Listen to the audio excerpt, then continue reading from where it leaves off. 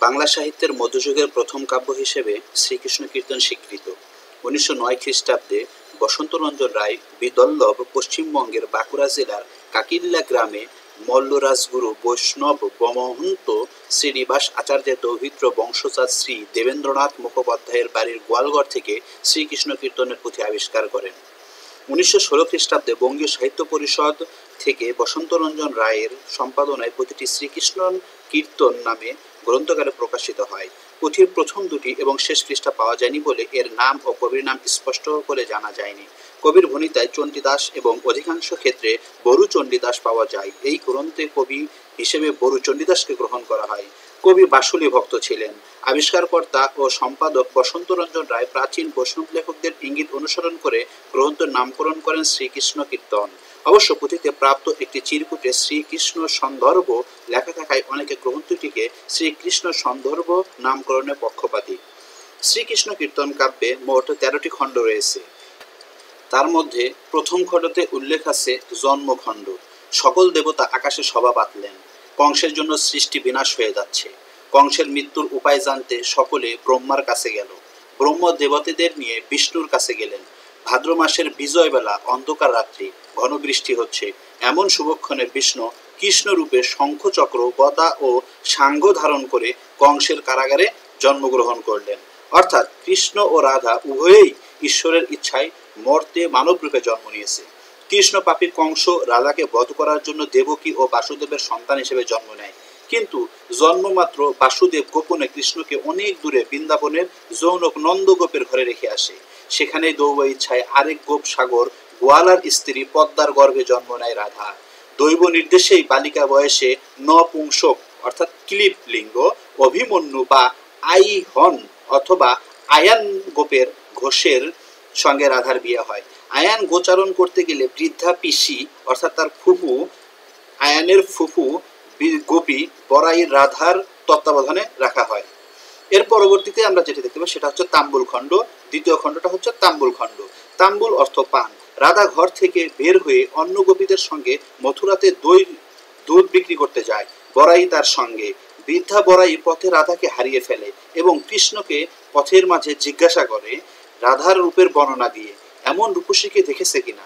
এই রূপের বর্ণনা শুনে রাধার প্রতি কৃষ্ণের পূর্বানুরাগ অনুভব আলাদাভাবে জাগ্রত হয়। সে বড়াইকে বুঝিয়ে রাধার জন্য পান ও ফুলের উপহার প্রস্তাব পাঠায়। কিন্তু বিবাহিতা রাধা সেই উপহার পদদলিত করে এবং বড়াইকে রোষে চর মারে। এরপরে আসে তৃতীয় খণ্ড, অর্থাৎ দান খণ্ড।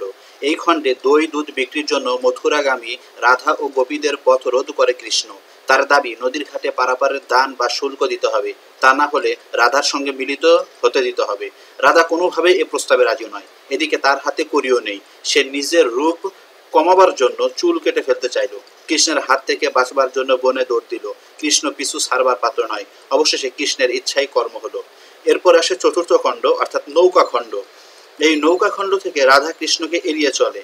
কৃষ্ণ নদীর মাঝির ছদ্মবেশ ধারণ করে। একজন পার করা যায় এমন একটি নৌকাতে রাধাকে তুলে সে মাছ নদীতে নিয়ে নৌকা ডুবিয়ে দেয় এবং রাধার সঙ্গ লাভ করে।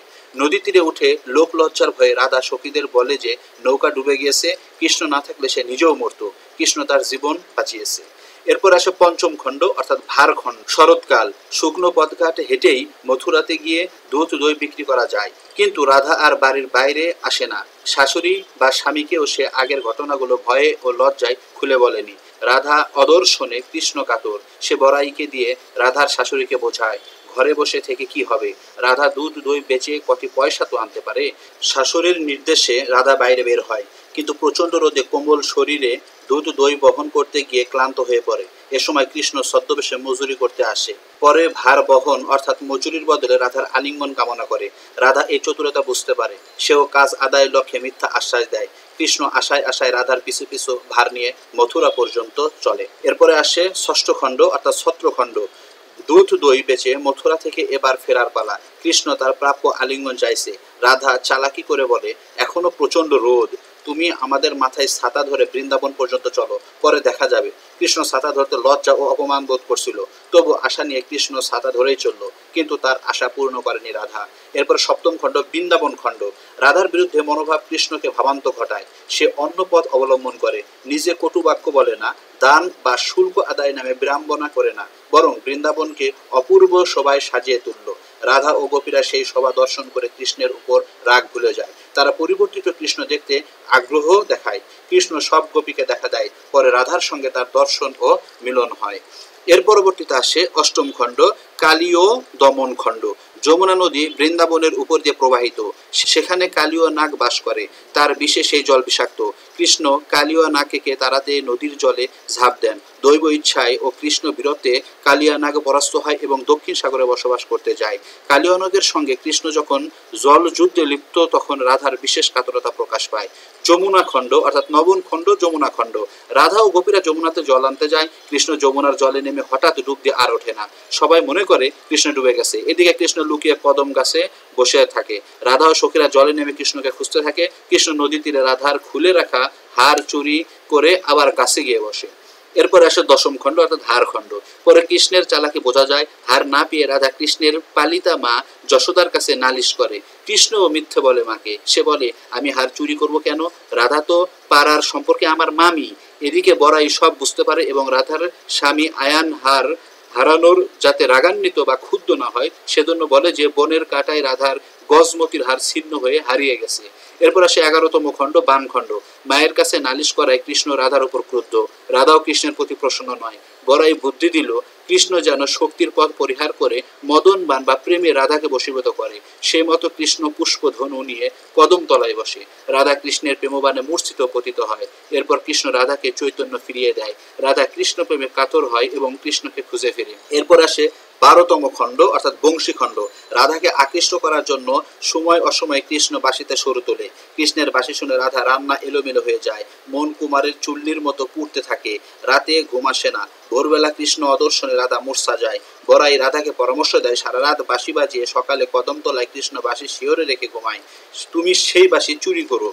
তাহলে সমস্যার সমাধান। রাধা তাই করে, কৃষ্ণ বুদ্ধিমান। বাঁশি চোরকে তা বুঝতে তার কষ্ট হয় না। রাধা কৃষ্ণকে বলে, বড়াইকে সাক্ষী রেখে কৃষ্ণের কথা দিতে হবে যে, সে কখনো রাধার কথার অবাধ্য হবে না এবং রাধাকে ত্যাগ করে যাবে না। তাহলেই বাঁশির সন্ধান মিলতে পারে। কৃষ্ণ কথা দেয় বাঁশি ফিরে পায়। এরপরে আসে তেরোতম খণ্ড, বিরহ খণ্ড। কৃষ্ণ তারপরেও রাধার উপর উদাসীন। এদিকে মধুমাস সমাগত। রাধা বিরহ অনুগত করে। রাধা বড়াইকে বসে কৃষ্ণকে এনে দিতে।